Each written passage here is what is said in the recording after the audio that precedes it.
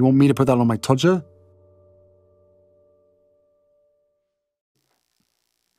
Harry's wife, the hazing incident. The hazing incident is regularly referred to by the detractors of Harry's wife as demonstrating an appalling act on her part. Apparently, aged 20, Harry's wife took part in an unspeakable hazing incident. She used superglue, not eyelash glue, to glue shut the eyelids of two first year sorority pledges. The outcome of this hazing incident, apparently, was that the two young women were almost permanently blinded and so traumatized that they could not bear to even be in the same room as Harry's wife. Northwestern University apparently held a full inquiry into the incident. Harry's wife's father used his lottery money to buy her legal representation that was able to get her record sealed, which is why Northwestern is completely silent on the subject of her, and they placed a gag order on other people to ensure that word did not get around as to exactly why the Northwestern chapter was placed under probation. Accordingly, the suggestion was that the local chapter of her sorority, Kappa Kappa Gamma, voted against holding any celebration to mark the May 19th ceremony of her wedding as a consequence of her behaviour beforehand. And that she had been engaged in this very unpleasant act. It's often brought up as being the basis for why many people don't like her. This therefore provokes our first question Is this something that a narcissist would do? Well, it won't surprise you to hear that the answer is yes. A narcissist would engage in such a behavior because there's no emotional empathy for the victim. It's a means of asserting control over that victim by devaluing them. There's a lack of accountability for behavior by engaging in something which potentially could affect somebody's sight. It's a form of manipulation, albeit a rudimentary one. It shows haughty behaviors to treat someone with such contempt. And therefore, as a matter of proposition, would a narcissist glue somebody else's eyes shut? The answer would be yes. However, what we need to take into account is that Harry's wife is a middle mid range narcissist, either A or B. This means that she's largely passive aggressive. There will be instances behind closed doors where ignited fury, usually cold but sometimes hot, makes an appearance. But this usually would be directed against the hapless intimate partner primary source. So it would be somebody like Trevor Engelson, Cory, the chef, and old Ginger Bollocks himself, who would be on the receiving end of being shouted at, possibly being physically attacked, scratched, shoved, spat at, that they would be insulted and called names as there would be an explosion of heated fury. It would be less likely to be exhibited towards secondary and tertiary sources. We know that Harry's wife faced bullying allegations, but it would appear that the evidence there was more about the way that she would speak to people, the demands that she made on them. For instance, where she commented to a member of staff, if there was anybody else I would ask to do this, I would, but I'm going to basically have to ask you, and you're useless. She would belittle people rather than shout and yell at them. Why? Because as a middle mid range narcissist, she invariably acts through passive aggressivism, uh, passive aggressive behaviors, but also because of the presence of the facade.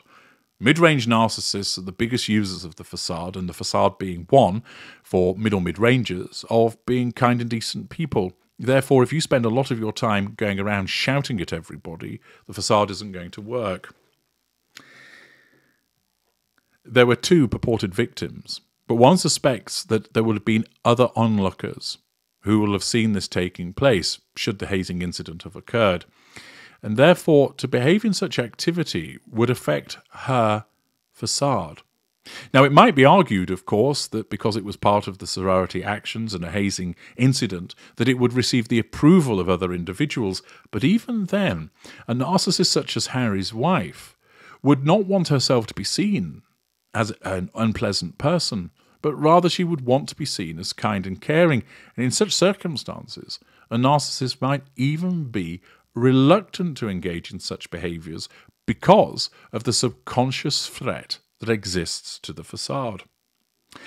Harry's wife would be more likely to use different forms of manipulations in these circumstances to avoid the risk to the facade.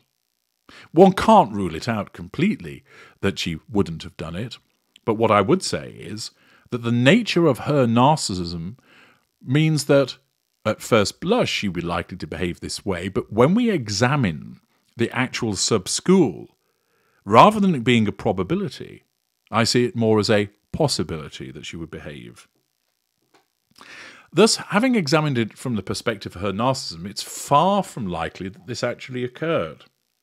Then we look at the fact that there's been no reporting of the incident. Nothing has been written about it in the press. Nobody, nobody has come forward to speak about the incident. You would have expected that there would have been fellow students, staff members, maybe the victims themselves that would speak out about it, roommates who had witnessed what had gone on, or at least what had occurred, that if this happened, it would be campus gossip, and that someone somewhere would have come forward to claim their 15 minutes of fame and drop the Duchess in it. The counter argument to that is to suggest, of course, that people have been silenced, and that Thomas Markle Sr. used his lottery win as hush money it was widely, report, widely reported in the press that he won $750,000 in 1990 and that the money was used for an ill fated jewellery business and then for his three children to get a bit of a head start, head start in life. Although, interestingly, having said to have won this in 1990, he then filed for bankruptcy in July 1991 with personal property of $3,931. He's certainly gone some distance if he spent all of that money, but perhaps it was spent on hushing things up. However, Thomas Markle Jr. suggests that his father never actually won the lottery and it was a story that was made up for the purposes of earning money. And Tom Bower, at page 23 of Revenge, states The end of 1990 was a good time for the Markles. Through hard work, Thomas was flush with money. 26 years later, to extract a payment from an eager journalist, Tom Jr. invented the story that his father had won $750,000 in the California state lottery. There was no lottery win, but Thomas did give Tom Jr. money to start a flower shop and bought Samantha a car. Harry's wife's school fees were easily affordable for him. Accordingly, it doesn't appear to be the case that there was a lottery win that could be used for hush money.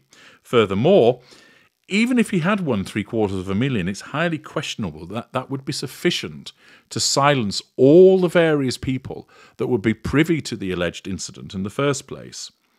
He would need millions rather than three quarters of a million. There's also the suggestion that Harry's wife was expelled. But nothing was said about that, and she was graduated. It does seem odd that nobody involved, none of the alleged victims, none of the students, none of the staff, none of the roommates, not even the janitor, spoke out about what has gone on. This suggests, therefore, that it either never happened or everybody has been shut up. As I've just explained, I don't see it as likely at all that Thomas Markle secured the gagging of them. But what about the school? Might it have looked to have silenced the people involved? After all, would this not present a huge reputational risk and cost to them? Ultimately, it would actually be far easier to expel the culprit and then reach a settlement with the victims rather than spend large amounts of money trying to find lots of people who could have spoken to other people to quash knowledge of what had gone on. In terms of reputational management, it would be far more effective to recognize that a rogue student has behaved this way, that the organization does not endorse such behavior, that the other people that were involved have been reprimanded, the main culprit has been excluded or expelled, and that the victims have been assisted and given therapy and support, etc., etc., etc. That would be a far more effective and easier outcome for the relevant education institution to achieve. Accordingly, with regard to the hazing incident, whilst there are many who like the idea of Harry's wife behaving this way, the evidence, and also her form of narcissism, does not support that it has occurred, and rather it's possible, but I see it as unlikely that this ever happened. I'm H.G. Tudor. Thank you for listening.